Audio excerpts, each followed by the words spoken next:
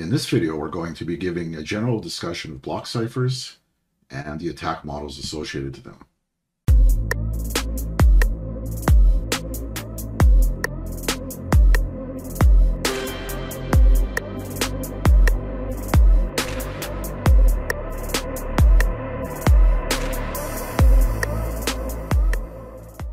So here's a table of contents for this video.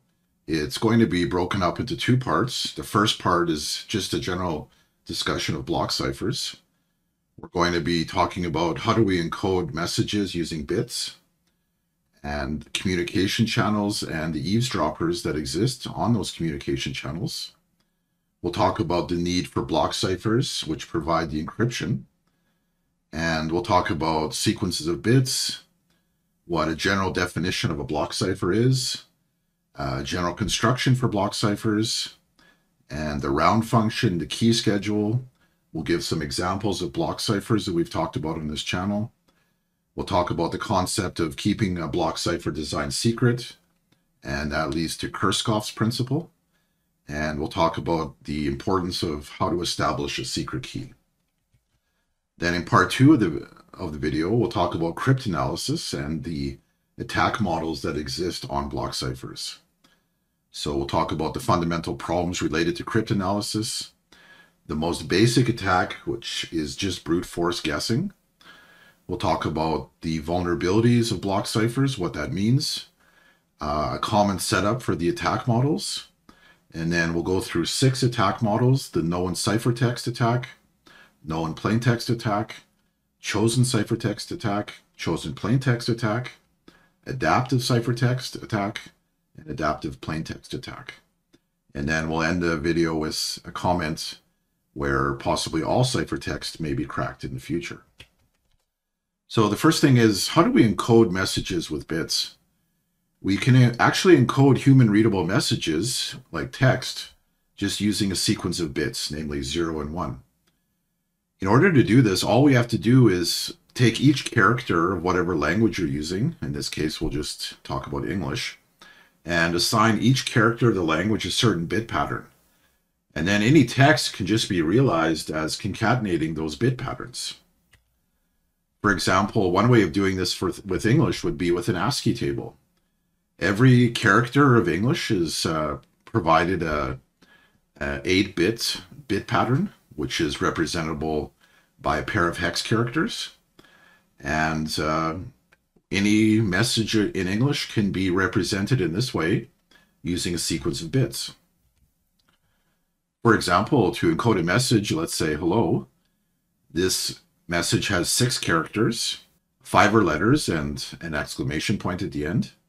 If we look at the ASCII table, the hex values that are associated to each of those characters are given by these values, and each pair of hex characters corresponds to an 8-bit sequence. In this way, we get a plain text block, which is just the concatenation of all those six characters. 6 times 8 is 48, so this message is represented by these 48 bits. And this is called a plain text block. Communication channels allow two computers to communicate over a network. And these uh, networks allow us to send sequences of bits over the network. Now, an important thing to say is that we should assume that every communication channel has an eavesdropper. The eavesdropper might be a nation state, like a country, uh, but it could also be some other entity as well. But we should always assume that our communications are being monitored and being stored. So the eavesdropper has the ability to see everything that's being sent over the communication channel. For example, we have two parties that are communicating here. They're sending uh, plain text back and forth over the communication channel, which is represented by this root right here. And if we look at the ASCII table, M is represented by these bits. They're sent over the communication channel and the party receives them and this party, when he wants to send something to him, the number four maybe, this is the bit pattern for four in ASCII, and it's sent over the communication channel. But there has been a split in the wire, and every communication that's sent over that communication channel is captured by the eavesdropper. He sees everything. And if the communication is not encrypted, then the eavesdropper can just easily read the, the bit patterns and know exactly what is being communicated between these two parties. So that leads us to the question of block ciphers and why do we need block ciphers?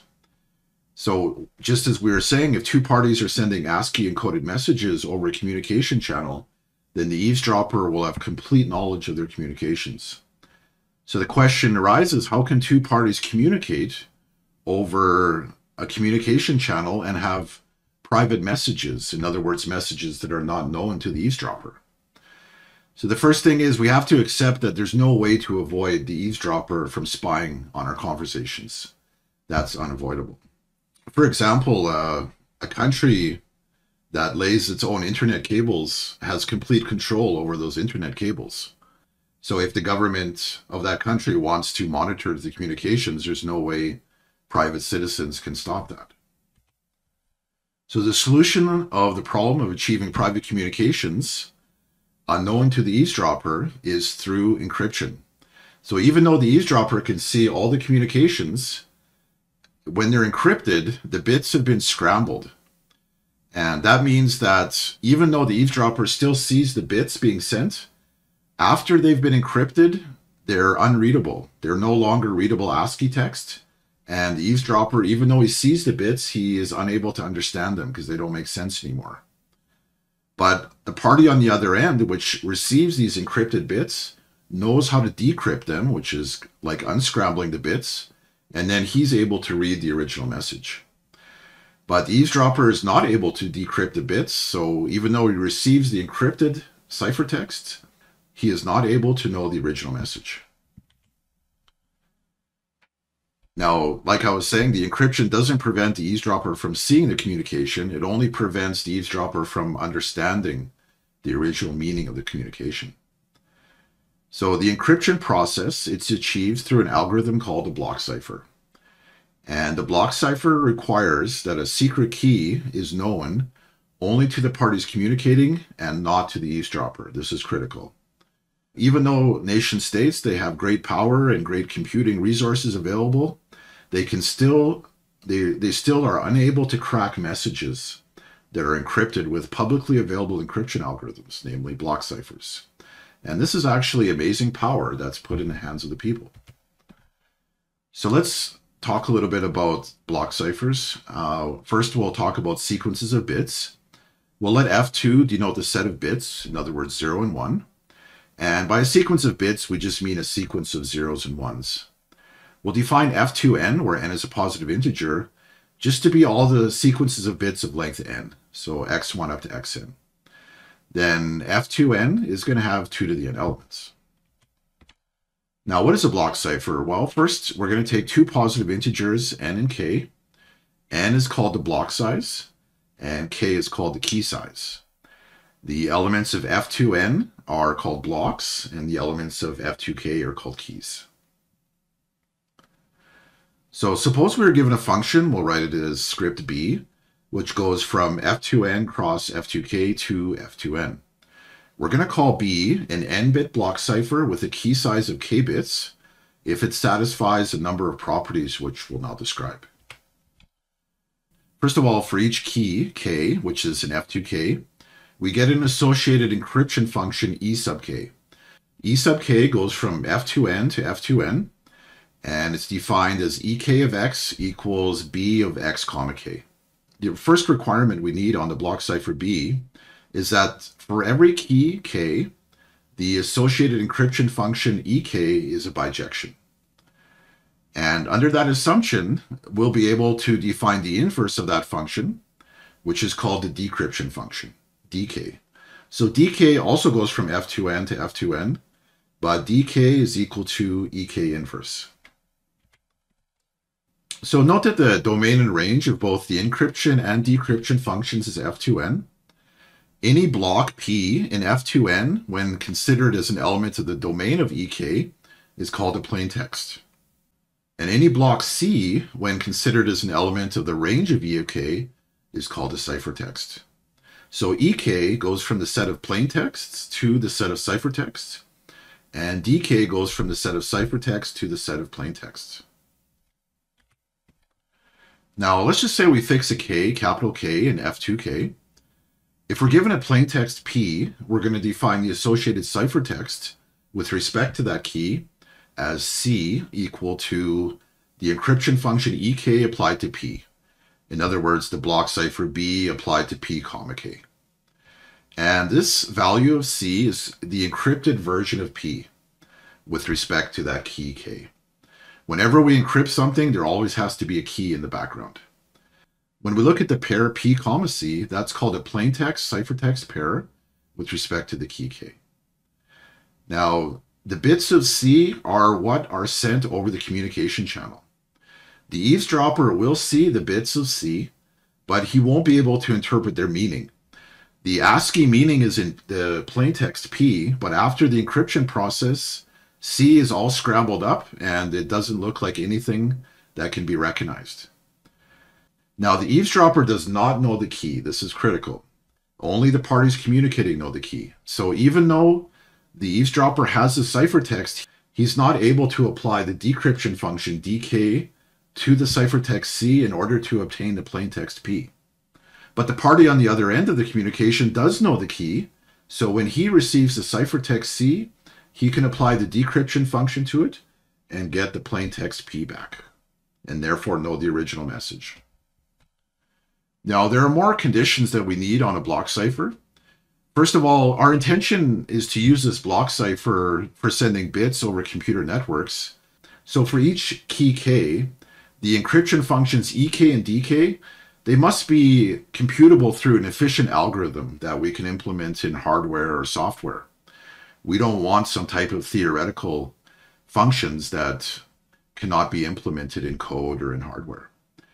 And another requirement is that for every key, the encryption function EK must be appearing to be completely random. This function cannot have any special properties that show up, or else they may be exploited, and there might be a weakness found in the block cipher. Another requirement is that since we're trying to avoid the eavesdropper from knowing the original plaintext P, when he receives a ciphertext C, it must be very difficult for the eavesdropper to determine what the plaintext P was that produced that ciphertext C. And then similarly, there must be a key recovery resistance. In other words, if the eavesdropper knows many plaintext ciphertext pairs, for example, PI comma CI, it must be really difficult to find the value of the key K which produced them. Namely, the key K such that EK of PI equals CI for all I. Now, it's actually hard to design a block cipher that satisfies all these requirements and is secure.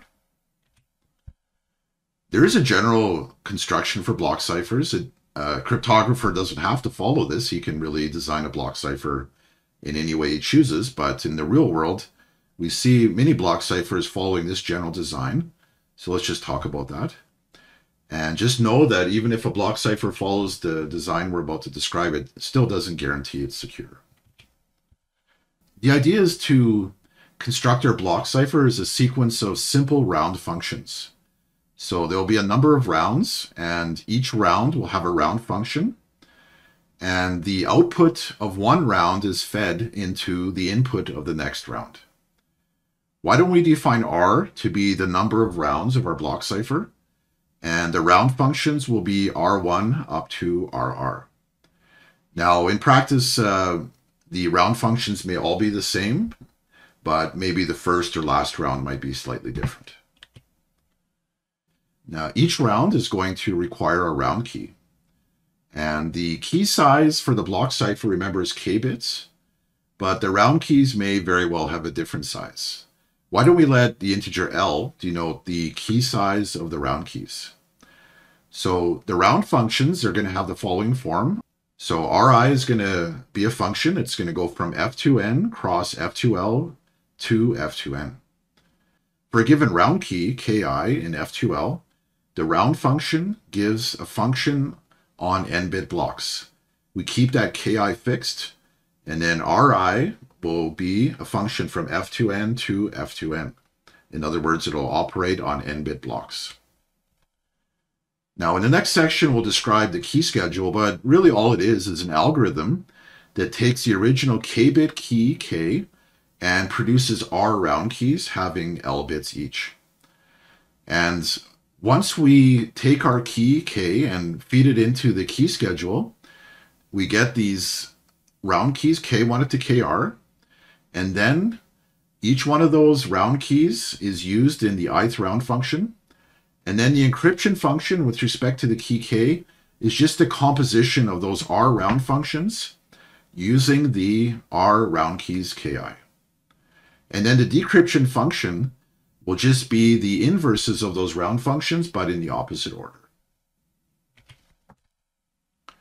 Now, the key schedule, like we were saying, is just an algorithm which takes the original k-bit key and produces the r round keys with l bits each.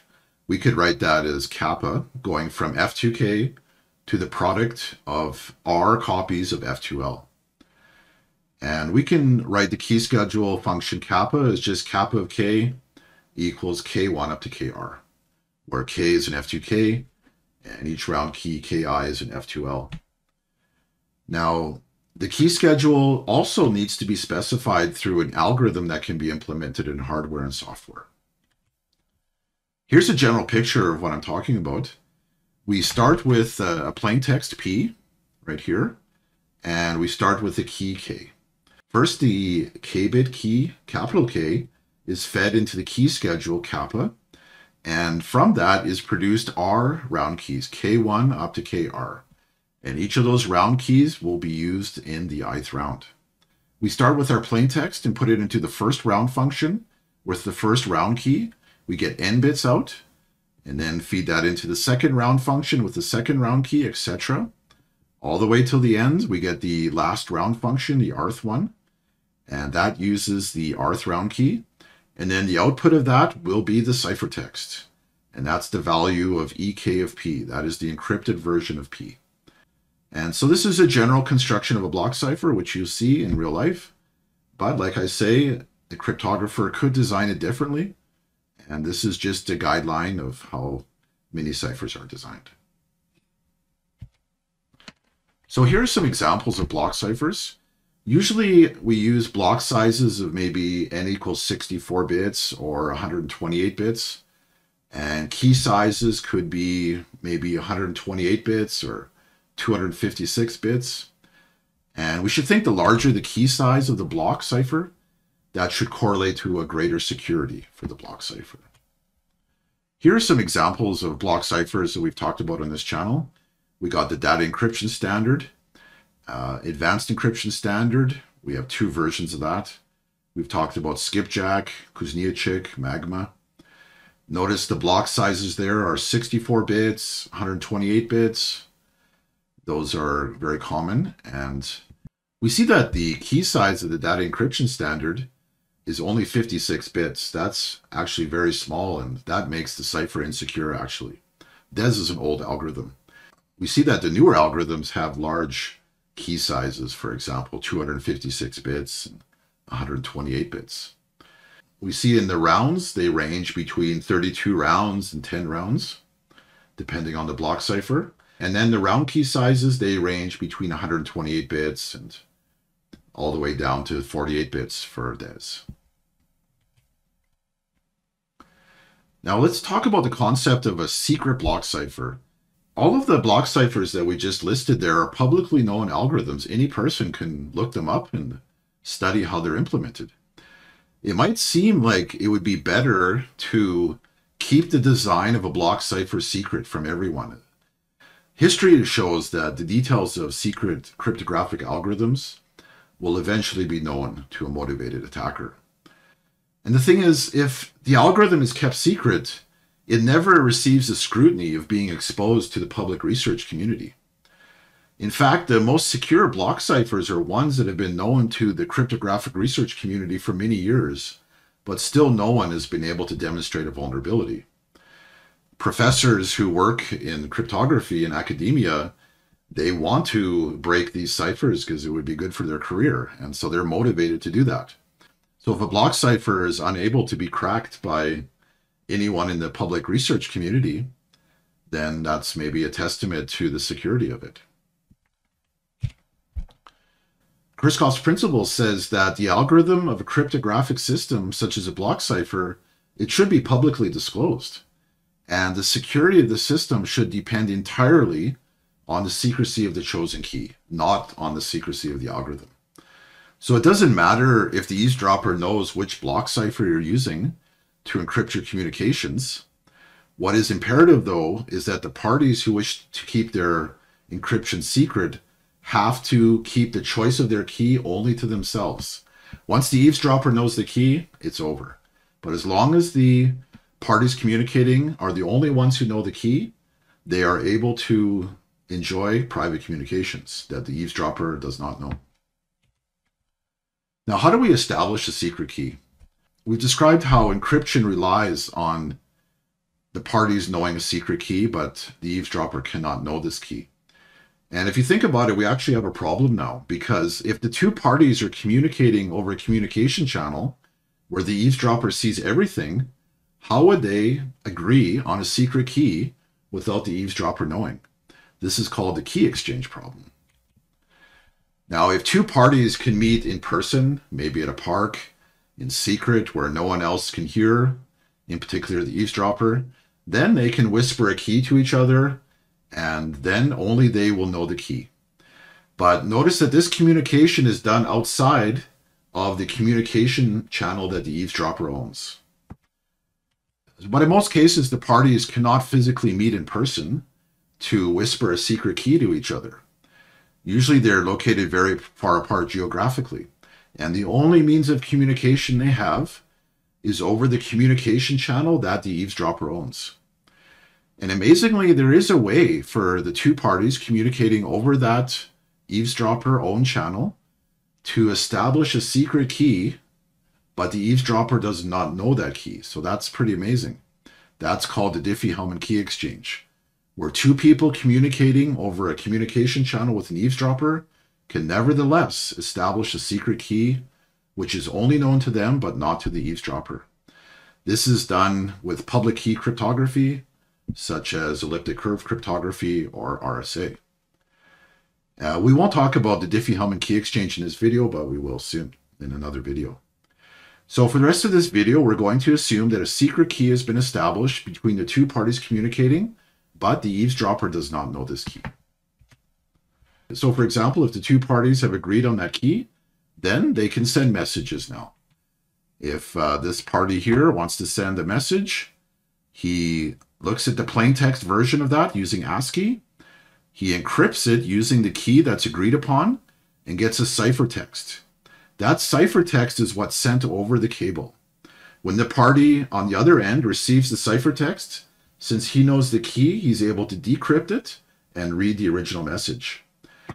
Now, the ciphertext that's sent over the channel is routed to the eavesdropper, but now these bits, they don't have any meaning anymore. He doesn't know what they mean. And so he's no longer able to understand the communications between the two parties. But there's likely many communications to go back and forth with the same key.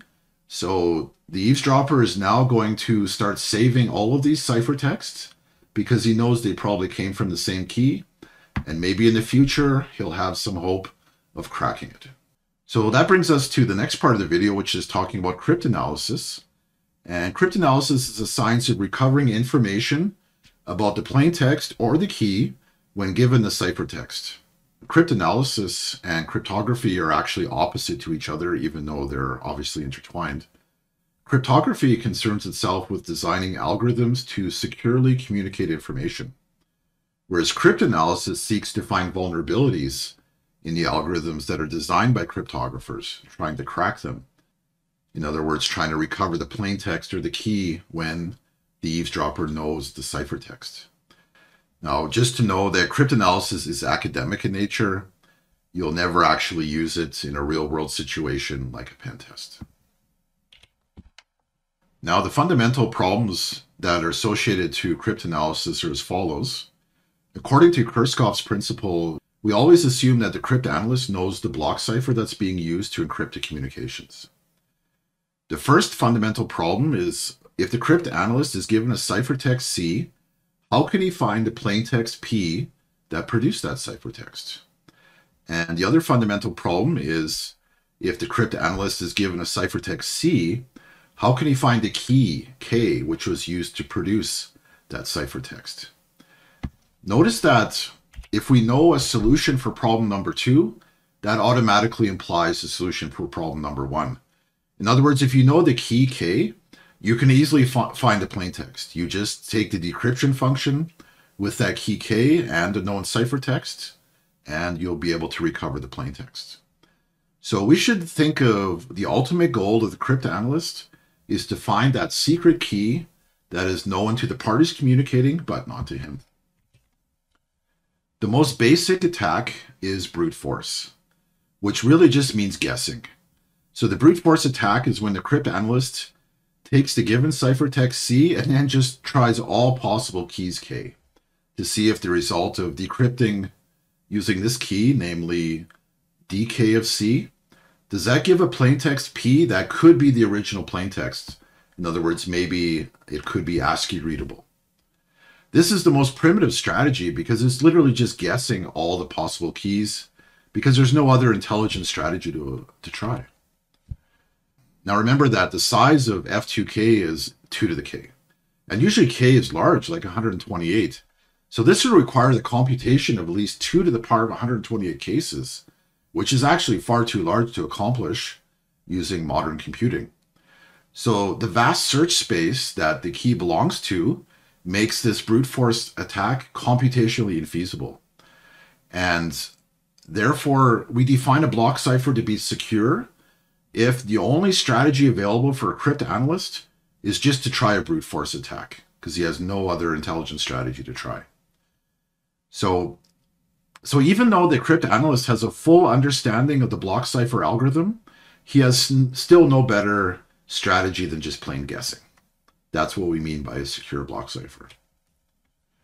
Now, what would a vulnerability be in a block cipher? Well, if there's a strategy or an algorithm to obtain the key faster than a brute force search, then we'd call this a vulnerability or a crack or a break of the block cipher.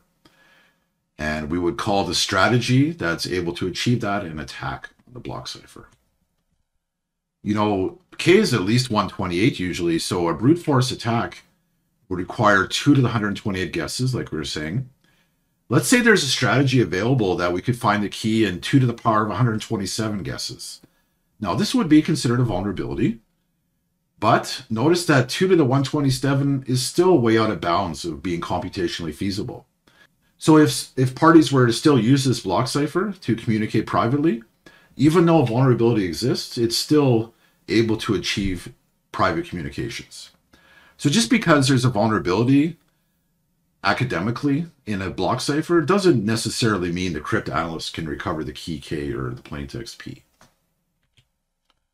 Now, there's a common setup for the attack models we're going to talk about. There's always a fixed block cipher B in the background, which is our object of investigation, and we're looking to discover a vulnerability in it. There's a fixed key K as well that only the parties communicating know, and of course, the eavesdropper does not know.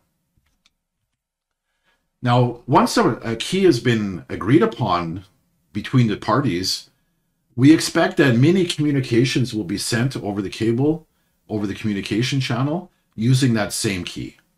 The key does not change as the two parties communicate. The same key is used for every communication. So all ciphertext C1 up to CN encrypted with that key will be seen and saved by the eavesdropper. Now, as we said before, the ultimate goal for the cryptanalyst is to find a key. But maybe another goal would be just to discover the plaintext P1 up to PN, which are corresponding to the known ciphertext C1 up to CN. Or maybe at this point, he will have enough information so that when he receives the next incoming ciphertext, CN plus 1, he will be able to somehow discover the plaintext PN plus 1. But really, his main goal is to find the key if possible. Now here are some different attack models on block ciphers. Each successive attack model gives the cryptanalyst more information to work with. and therefore a greater chance to find a key or to find any vulnerability. So the known attacks give the least amount of information. The chosen attacks give more information than known attacks, and the adaptive attacks give the most information of all of them. Now, some of the attack models, especially the chosen and the adaptive models, are maybe not too likely to occur in the real world and maybe should be considered more academic in nature. So first of all, the known ciphertext attack, which is also sometimes called ciphertext only attack. That's when the cryptanalyst is given a set of ciphertext CI from i equals 1 to n. This scenario is a, a real world situation because the eavesdropper does see all the ciphertext over the communication channel that has been produced with respect to some fixed key. So this is actually the most difficult attack model for the cryptanalyst because it provides the least amount of information. For a known plaintext attack, the cryptanalyst is actually given a set of plaintext ciphertext pairs, PICI, where I goes from 1 to n. So unlike the known ciphertext attack, here the cryptanalyst also knows the plaintext PI that corresponds to the ciphertext CI. Now, this scenario is less likely in a real world situation because the eavesdropper will not usually know the plain text. He'll know the ciphertext, but not the plain texts. But we just assume in some way that he is able to obtain it. We could imagine a situation where something like this could happen. Sometimes a communication only is important to be kept secret for a short amount of time.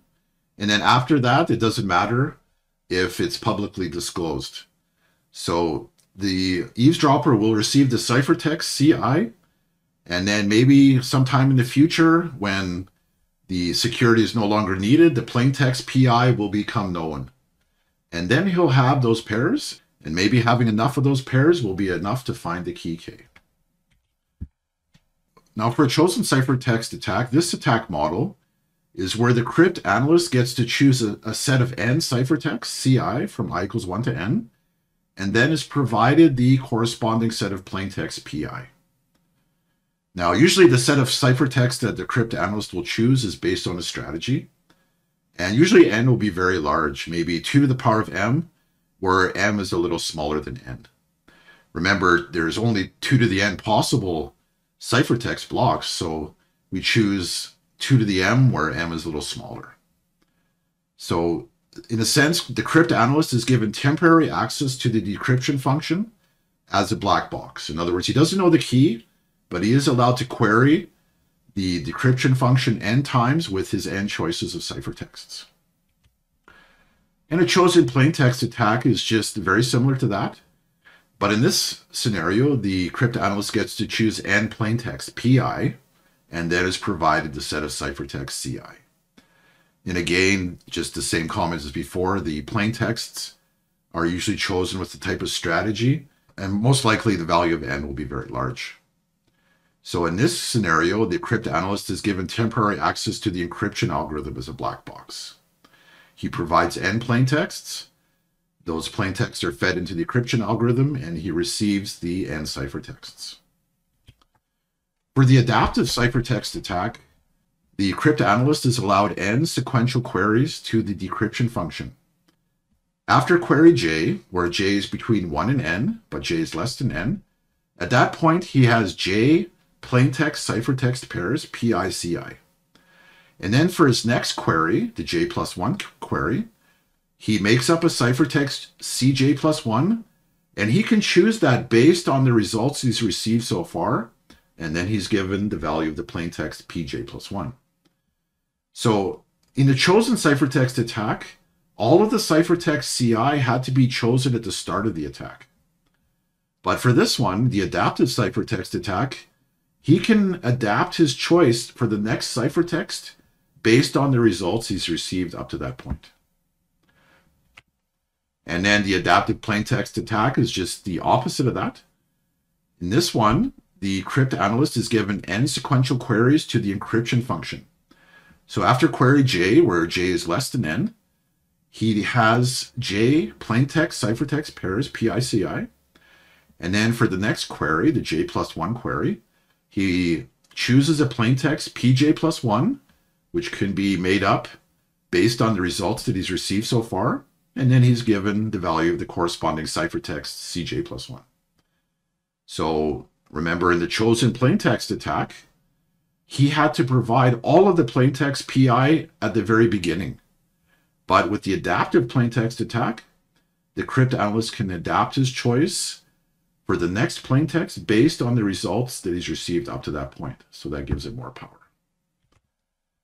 And now we'll just end the video with this comment that we could assume that all communications on the internet are stored in massive databases, at least those communications of possible interest, right? And soon, when quantum computers become a reality, all of these ciphertext will be trivially cracked. And so, in a sense, that even though currently we can enjoy private communications, the eavesdropper is storing all of those ciphertext in a big database.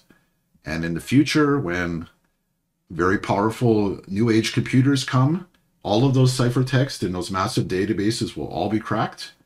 So, in the future, we should expect that all of the private communications that we've enjoyed will be known to the eavesdropper. All right. Thank you for watching. Bye.